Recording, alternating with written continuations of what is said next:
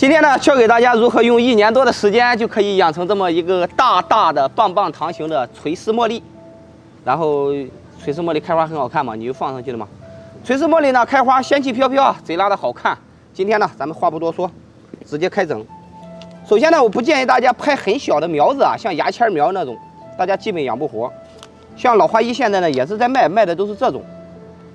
想要做成棒棒糖呢，首先你要选择一个枝条，就是作为一个主枝干。你像我这个，它是一个三叉形的，大家可以看到吗？你看这里有三叉形，我将会选择把下面的给它去掉。然后呢，来到这边的时候呢，我就二选一，因为你们要做单杆独科嘛，所以说呢，就要研究这个事情了。那我就把这一根给去除了，这个可以扦插，很好活的，随便插随便活。然后呢，留这个做主干。有的话说不直溜，不直溜不要紧，教你一个小办法，找一根直点的签子或者竹竿之类的，你给它插下去，看到没？然后呢，大家稍微固定一下，给它捋直了，这样捋直，捋直之后呢，把下面这种给它撸掉，下面的叶子全部不要撸掉，撸掉之后呢，做一下固定，固定起来就直了，然后给它放直一点，看到没？等到它直直长到你想要的一个高度了，你像我们这种，哎，就是做出来就是这种效果，看到了吗？回家以后可以换盆了哦。然后呢，这个就可以给它撸掉。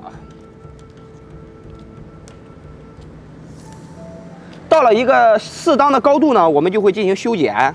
修剪完之后呢，哎，我们又会进行换盆，换到这种程度里面。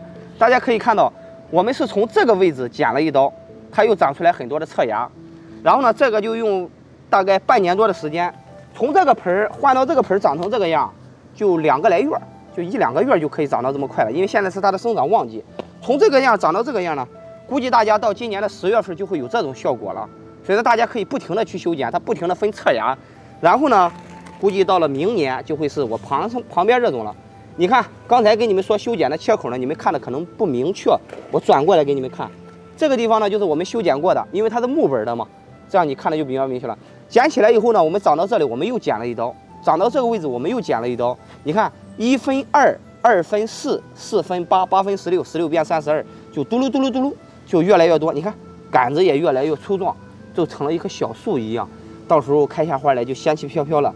有的话说，老花姨这么好的垂丝茉莉多少钱啊？会不会很贵啊？那现在呢，老花姨给大家治愈了一些个，也不贵，就是二十九块九的话呢，是这么样三盆，一盆的话是十六块八，价格合适。可以放心入啊！发货苗型就这样，都是用松针土给大家养好的，满盆满当当的根系，保证鲜活到手啊！路上割了给你补发，还要啥自行车？二十九块九都三盆了，你怎么练还练不活啊？要大的也有啊，一百八十八，这个你拍下来可以联系客服给你挑一下。我是老花一，养花最专一，想要的去拍，学到了记得点赞，拜了，臭宝。嗨，嘿嘿嘿嘿。